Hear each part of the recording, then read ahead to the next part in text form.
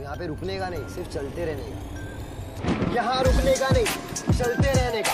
दो कल्ली का माल लेके मलते रहने का। सूरज का किरण तो ढलते रहने का। चल चलते रहने का, निकलते रहने का। क्योंकि बंटाई की पब्लिक बोले तो तकलीफ़। तकलीफ़ तो होनी है, बंटाई हटेला है, जो भी एडे चले करता खुले आम तेला है। एमवे बंटाई। मालूम है ना? नहीं मालूम है तो। सुन सुन सुन सुन।